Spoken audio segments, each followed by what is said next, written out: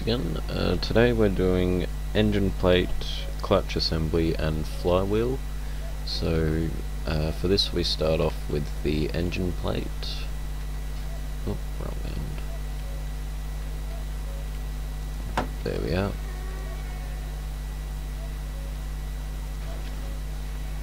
Uh, that requires no no bolts at all.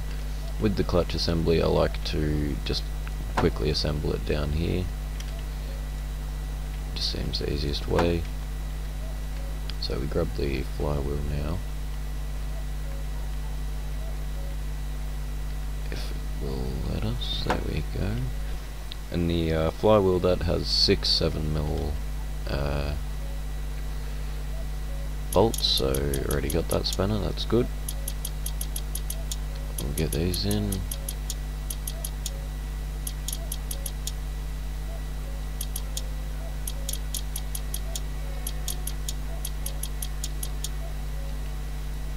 Alright, cool.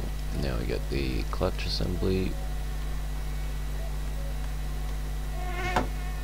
And the clutch assembly has six 6 mil spanners, uh, bolts.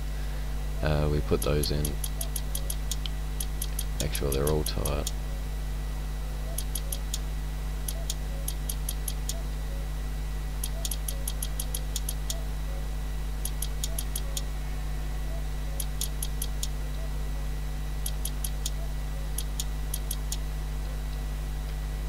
That's done guys uh, that'll do for this episode. Uh, in the next episode we'll be doing more of the uh, front end sort of stuff so um, timing chain and all that sort of stuff. Uh, we'll, we'll, leave it at that. Uh, thank you for watching. Please remember to like subscribe and comment. Uh, any constructive criticism is always helpful. It can help me better my channel to uh, provide content that you guys like so uh, leave a comment let me know what you'd like to see and I'll get back to you.